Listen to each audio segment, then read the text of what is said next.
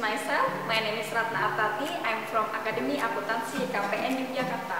Thank you to Akademi Akuntansi YKPN Yogyakarta, the leading in vocational accounting for facilitating the competition of accounting presentation in English.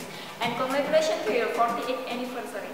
Here, I will present about the audit, consisting of four topics. They are first, understanding of audit. Second, the objects of audit. Third, types of errors and fraud. And then the last is advantage of audit. Let's go to the first topic. Many people are less aware of what audit is and its relation with accountancy. I will tell you a bit about it. What is an audit and its relation with accountancy? An audit is an objective examination and evaluation of the financial statement of an organization to make sure that the records are a fair and accurate representation of the transaction they claim to represent. It can be done internally by employees of an organization and externally by outside firm. Audit may be defined as an intelligent and critical examination of the books of accounts of a business which is done by independent person or body of person qualified for the job. Then its relation with accountancy is that accountancy begins with keeping ends. What about auditing? It is side where accountancy ends, auditing begins. It is cyclic side.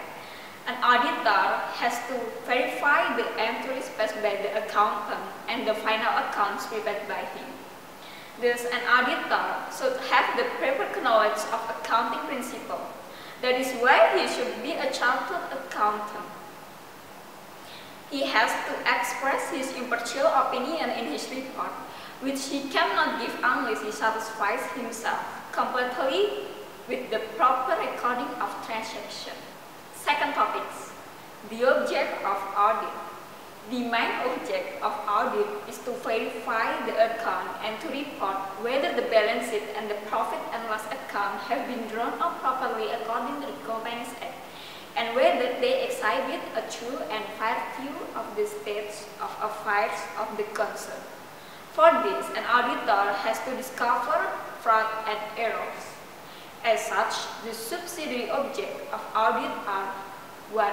Detection and prevention errors 2. Detection and prevention fraud. The difference between an error and fraud is that error generally arises out of the innocence or carelessness on the part of those responsible for the preparation of account. Well, fraud involves some intention to gain out of manipulation of records.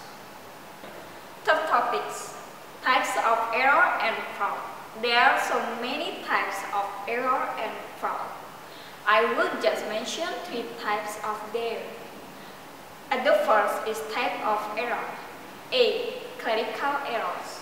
Clerical errors are wrong posting that is posting an item into a wrong account, totaling and balancing. B. Error of principle.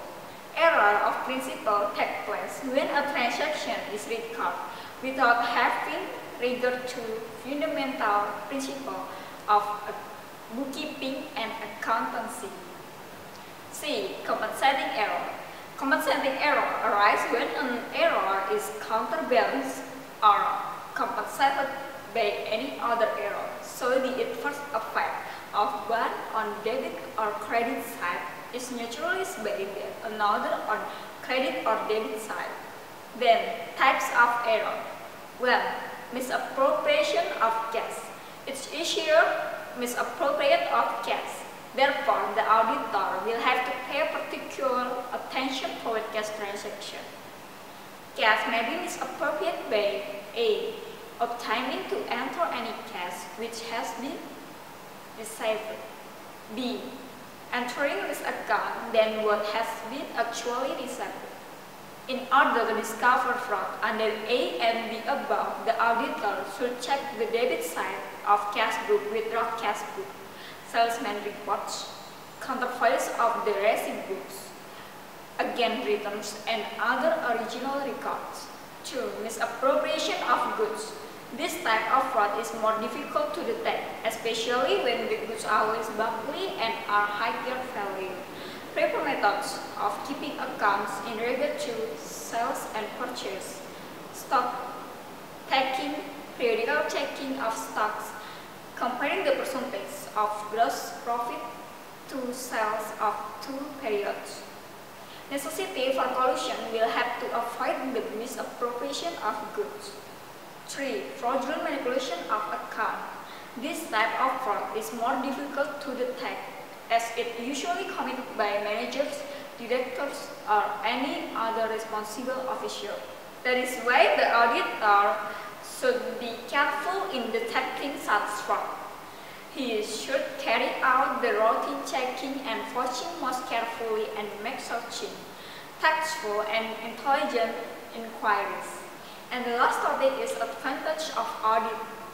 It's great importance to get accounts audit in a proprietary concern to see that the business is running efficiently, in a partnership to ensure healthy relation partners, and especially to decide questions like valuation of goodwill at the time of entry. Retirement and death of a partner and enjoying stock company in which a holder invests their money and pursue their capital impact if accounts of such company are audited by some qualified auditor. Okay, it's enough.